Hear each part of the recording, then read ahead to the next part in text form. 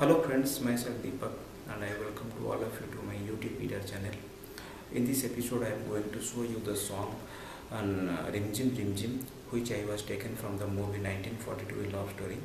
The track was beautifully composed by R.D. Burman and beautifully sung by Kumar Sanu and uh, Kavita Krishnamurthy.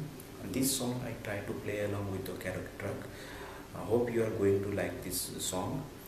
If you have any song request or if you have any suggestion regarding my lessons that you can post on my uh, YouTube channel box and keep liking and keep sharing and keep loving my channel. So let us play the song along with the character. Thanks a lot for watching. Keep watching and keep loving.